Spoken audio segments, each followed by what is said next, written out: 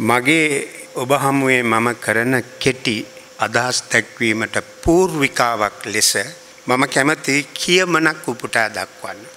මේ කියමනේ කතුවරයා දහා නවවැනි සියවසේ ඉපිද මැදභාගේ එක්දස් නමසය හැත්තෑවේදේ මිය කිය බර්ටන්ඩ් රසල් නමති විශිෂ්ට ගණයේ බ්‍රතාන්‍ය දර්ශනිකයා ගනිතක්ඥ. ඔහු කියනවා if the intellectuals have any function in the society, it is to preserve a cool and unbiased judgment in the face of all solicitations to passion.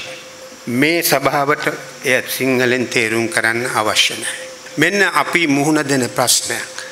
පෙළඹවීම් ආවේග හමුවේ ඇත්ත අඳුනගන්න අපට තිබෙන හැකියාව. දෙදහස් පහළවේ ආණ්ඩු පෙරලිය ඒක මම මගේ හැදෑරීම් අනුව හඳුන්වන්නේ regime change project number one. ඒ අවස්ථාවේ අපේ රටේ බොහෝ බුද්ධිමතුන්ට කලාකරුවන්ට දේශපාලනඥට තේරුම් ගන්නට බැරි වුණා ඒ පිටුපස සිටින සැබෑ බලවේග.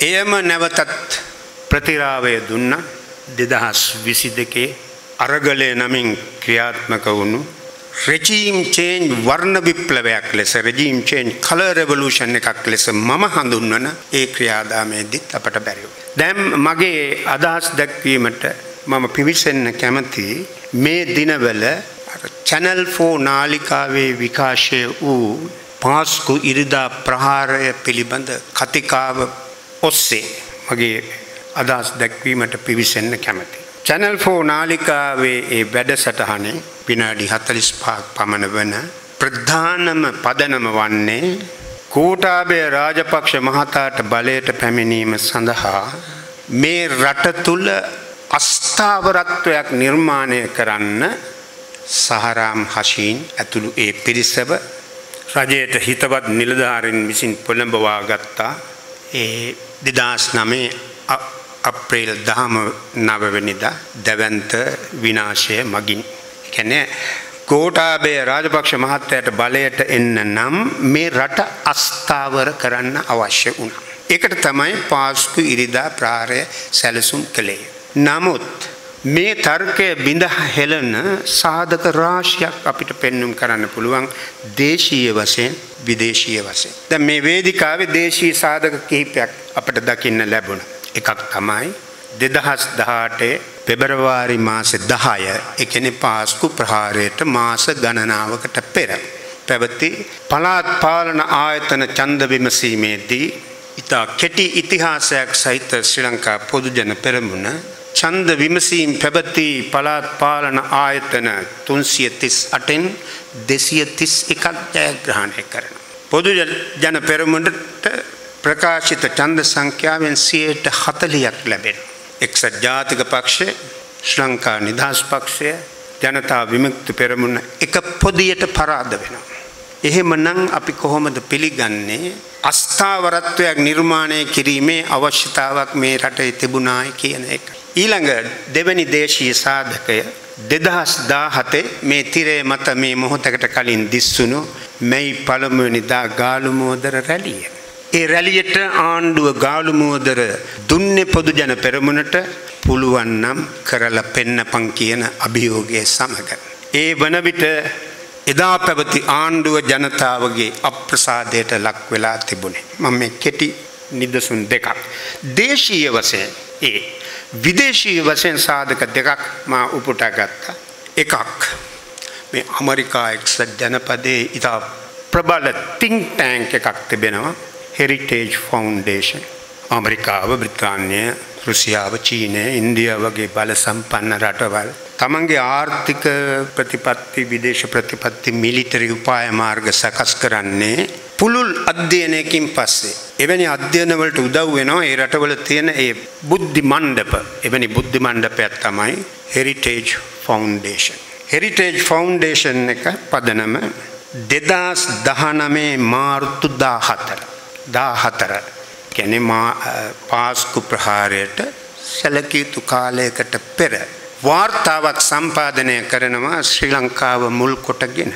ඒ වාර්තාවේ මාතෘකාව ශ්‍රී ලංකා කෝලන් a test case for the free and open Indo-Pacific strategy.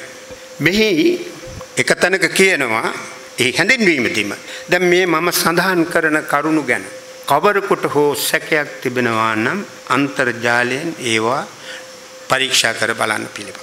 ඒ වාර්තාව එක තැනක තියෙනවා අදාළ කොටස විතරක් මම උපුටා දක්වන්නම්. Political forecasters are predicting the return to power by the influential Rajapaksa family in forthcoming elections. අමරිකාවේ හෙරිටේජ් පදනම වැනි බුද්ධි මණ්ඩපයට ඒ වන විට තොරතුරු ලැබී තිබුණා මේ රටේ ඊළඟ මැතිවරණයේදී එදා බලයේ සිටි ආණ්ඩුව පරාජයට පත්වන බවයි. දෙක ඒ වාර්තාවේ තව තැනක තිබෙනවා ද රාජපක්ෂ ෆැමිලි. එහෙම තමයි ඒ වාර්තා මේවා සම්පාදනය කරන්නේ. The Rajapaksa family would indeed seem well positioned for the presidential elections scheduled to be held between November 2019 and January 2020 and for the parliamentary elections to follow between March and September 2020. Heritage පදනම දකින මේ සත්‍යය තේරුම් ගන්නා කෙනෙක් කුමන පදනමකින්ද පිළිගන්නේ රට තුළ ගෝඨාභය රාජපක්ෂ මහත්තයට බලයට එන්න අස්ථාවර තත්ත්වයක් නිර්මාණය කළ යුතුව තිබුණා කියන එක. තව එක නිදර්ශනයක් ඉන්දියාවේ තිබෙනවා ඉතා ප්‍රකට වෙබ් අඩවියක් ද වය එක නම මේ වෙබ් අඩවිය ඉන්දියාවෙත් දකුණු ආසියාවේ සහ ආසියාවෙත් ලෝකෙත් ආර්ථික සමාජ වර්ධනයන් ගැන සාරවත් ලිපි පළ කරන වෙබ් අඩවියක්. දෙදහස් දහ අටේ නොවැම්බර් නවවැනිට දෙදහස් දහටේ නොවැම්බර් නවය. මේ වෙබ් අඩවියට ලිපියක් සම්පාදනය කරනවා එංගලන්තේ ලන්ඩන් නුවර තිබෙන ලන්ඩන් ස්කූල් of ඉකොනොමික්ස් කියන ඉතාම කීර්තිමත් අධ්‍යයන ආයතනයේ සංවර්ධන අන්තර්ජාතික සංවර්ධන පිළිබඳ දෙපාර්තමේන්තුවේ සහකාර මහාචාර්යවරයෙක් ඔහුගේ නම රාජේස් වෙනුගෝපාල්. රාජේස් වෙනුගෝපාල් කියනවා ඔහුගේ ලිපියේ එක තැනක. ඊටත් වඩා සිත් ගන්නා සුළු කාරණේ ඔහුගේ ලිපියේ මාතෘකාව හෙඩිම the second coming of Sri Lanka's Mahinda Rajapaksa. ලිපියේ නමම ශ්‍රී ලංකාවේ මහින්ද රාජපක්ෂගේ දෙවැනි ආගමනය. එලිපියේ වෙනු ගෝපාල් කියනවා the UNP led government was losing popularity with each passing day and would have died a natural death at the polls in 2020. Mahinda, or his chosen family anointee could easily, with a little patience, have sat back and won the presidency and parliament fair and square in little over a year. Mahinda Rajapaksa මාත්‍යයට නිවීහෙන හිල්ලි වාඩි වෙලා හිටියත් ජනාධිපති ඡන්දය සහ මහමැතිවරණය දිනන්න පුළුවන් කියලා මේ London school of economics ආයතනයේ සහාය මහාචාර්යවරයා කියනවා. එසේ නම් චැනල් 4 නාලිකාවේ එන ස්ථාවරය කොහොමද අපි තේරුම් ගන්නේ? කොටාබේ රාජපක්ෂ මහත්තයට බලයට එන්න ශ්‍රී ලංකාව තුළ අස්ථාවරත්වයක් නිර්මාණය කරන්න ත්‍රාසය ඇති කරන්න පාස්කු ඉරිදා ප්‍රහාරය කලා කියන එක. මේ දෙන තවත් පිළිතුරු දැනටමත් සමාජගත වෙලා තියෙනවා පොදු ජන පෙරමුණේ සා වෙනත් පාර්ශවවලින් ඒ තමයි සිංහල බෞද්ධ නායකයෙක් බලයට පත් කරන්න ඉස්ලාමීය අන්තවාදීන් අල්ලා දෙවියන් වහන්සේගේ නාමයෙන් තමන්ගේ ජීවිත පරිත්‍යාග කරනවාද කියන තර්කය. මම ඒක ගැන කතා කරන්නේ මන්ද ප්‍රමාණවත් මට්ටමින් එය සාකච්ඡා වී තිබෙන නිසා. මෙවැනි පදනම් විරහිත ප්‍රවාදයක් ගොඩනගන්නේ ඇයි චැනල් 4 නාලිකා. මේක හුදකලා සිද්ධියක් නොවේ අපගේ කියවීම නම් මෙය ප්‍රොජෙක්ට් එකක් ව්‍යාපෘතියක් කුමක්ද මේ ව්‍යාපෘතිය ඒ පැහැදිලි කරන්නට නම් අපි අදහසක් ඇති කරගත යුතුයි. අපි මේ ජීවත් වන ලෝකයේ තිබෙන ගෝලීය රටාව ඉන්ටර්නැෂනල් ඕඩර් එක ග්ලෝබල් ඕඩර් එක ගැන. මේ ග්ලෝබල් ඕඩර් එක ගැන ඉතා කදිම විවරණයක් කරපු දැනට වසර දෙකකට පමණ පෙර මිය ගිය සාමීර් අමීන් නැමති සෙනෙගාල සමාජ ආර්ථික විද්‍යාඥයා කියනවා මේ අපි ජීවත් වන ලෝකය පාලනය කරන්නේ ත්‍රිමූර්තියක් විසින්. Dominated by a triad. කවුද මේ triad එක? එක United States and Canada දෙක the European Union තුන ජැපෑන් ඉතින් ඒගොල්ලන්ට උදව් කරන තව රාජ්‍යයන් තියෙනවා. මේ සාම්ප්‍රදායික බල කේන්ද්‍රයට පවර් සෙන්ටර් එකට අද අභියෝගයක් මතුවෙලා තියෙනවා. සෝවියට් දේශය බිඳ වැටීමෙන් පසුව සෝවියට් දේශය බිඳ වැටුණු විට ඕනට තිබුණු අභියෝගයක් අවසන් වුණා නමුත් ඊට පස්සේ ලෝකය වෙනස් වුණා කුමක්ද අභියෝගය අලුත් power centers, economic, political and military power centers are fast emerging. උඩට එමින් ඉන්නවා. ඒකේ මුලින් ඉන්නේ චීනය.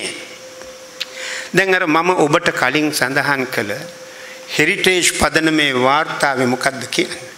ඒගොල්ලෝ කියනවා 2015 දී මහින්ද රාජපක්ෂ ජනාධිපතිවරයා පරාජය වුණාට පස්සේ මහින්ද රාජපක්ෂ ජනාධිපතිතුමාගේ පාලන සමයේදී චීනයට සමීප වූ ශ්‍රී ලංකාව නැවත ඒ මාර්ගයෙන් ආපස්සට ගන්න පුළුවන් වුණා කියලා.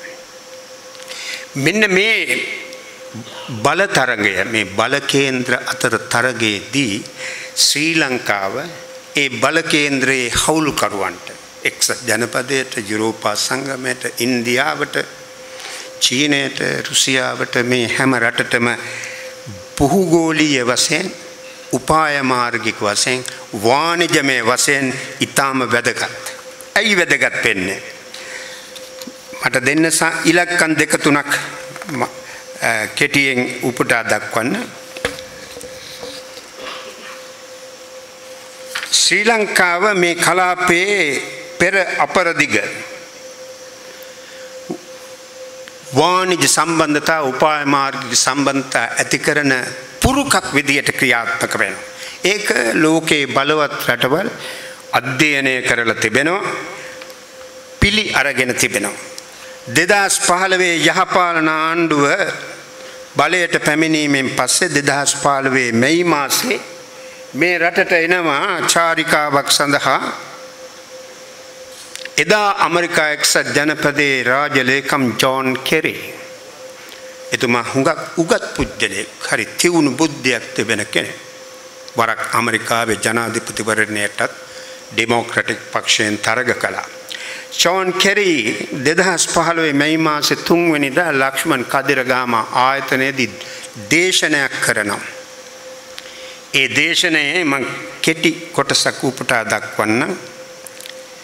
ඔහු කියනවා your country sits at the crossroads of Africa, South Asia and East Asia. The Indian Ocean is the world's most important commercial highway and with its strategic location near deep water ports in India and Myanmar, Sri Lanka could serve as the fulcrum of a modern and dynamic Indo-Pacific region. මේ නිසා තමයි ඔවුනට ඉන්දියාව ශ්‍රී ලංකාව අවශ්‍ය වෙන්නේ. ශ්‍රී ලංකාව අසලින් එක වාර්තාවක කියන ඔවුන්ගේ some 30,000 naval vessels 40,000 aircraft and 4,500 oil tankers traverse Sri Lanka's 200 nautical mile exclusive economic zone each year. මෙන්න මේ මේ නිසා ශ්‍රී ලංකාව තමන්ගේ බලකක්ෂය ඇතුළේ තබා ගන්න ලෝකයේ බලවතුනට අවශ්‍යයි.